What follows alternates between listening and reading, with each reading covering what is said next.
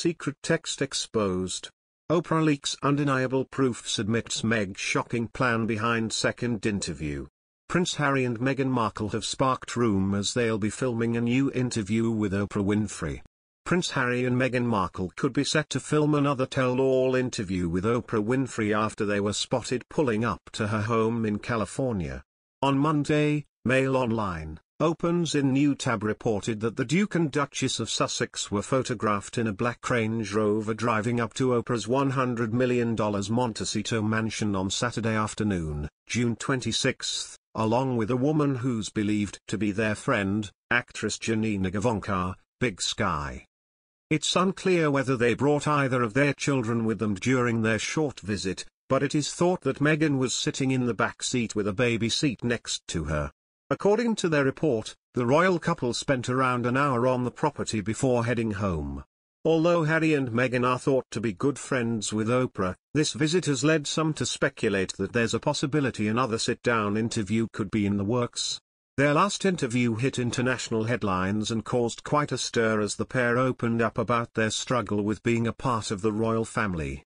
Among other issues, they discussed how Meghan felt lonely and struggled with her mental health about becoming a part of the family, and Harry claimed that Charles had stopped taking his calls when Harry and Meghan stepped back from being senior royals at the start of 2021. In other news, Prince Harry and Meghan Markle are reportedly finding another brand to remain in limelight as they failed to win Americans by overusing their royal card. A royal author has claimed that the Duke and Duchess of Sussex will eventually have to give up their royal status and find another brand if they want to continue to be seen as celebrities in America. Speaking to Palace Confidential, Tom Bower said Harry and Meghan were struggling to stay relevant as interest waned in the former working royals. The couple had overused their royal card and Americans were no longer interested in the couple. When Meghan called up two U.S. senators to campaign for maternity pay, she introduced herself as Meghan, the Duchess of Sussex, Bower told Jo Elvin. He went on, she plays the royal card the whole time.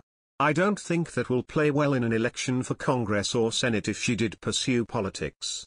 The biographer continued, I think they have to realign their image. In any case, they are burning their royal status pretty fast now. I think they will, in the end, have to give that up because it won't wash. Bower suggested that Meghan might try to ditch the royal status and jump into politics.